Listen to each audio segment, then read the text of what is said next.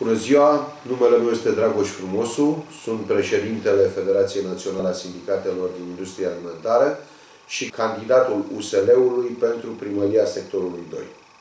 Am 53 de ani, am absolvit Institutul Politehnic București, Facultatea de Metalurgie în anul 1985, sunt master în relații de muncă și industriale, am absolvit Universitatea București, Facultatea de Drept, și am fost pregătit pe diferite domenii de activitate, urmând mai multe cursuri, inclusiv cursuri de uh, management al proiectelor uh, pe fonduri structurale, formare formator și multe alte cursuri de specialitate.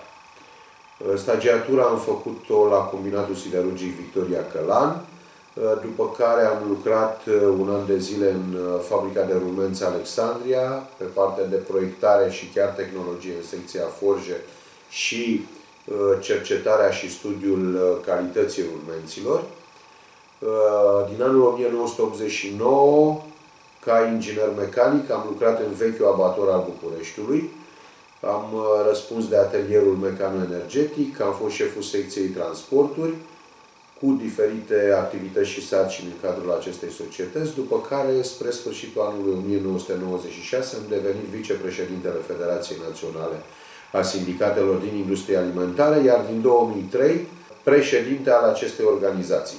În urmă cu două săptămâni am fost reales pentru o perioadă de 5 ani președintele Federației și, desigur, după ce voi câștiga uh, primăria sectorului 2, uh, mă voi suspenda din funcția de președinte.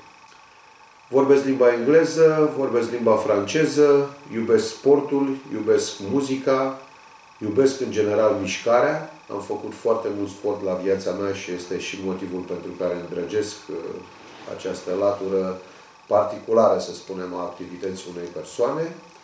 Uh, sunt foarte prietenos, îmi place să lucrez în echipă, am respectat punctele de vedere ale oamenilor și am încercat în același timp uh, să-i sprijin Uh, în activitatea pe care o fac de câte ori am putut.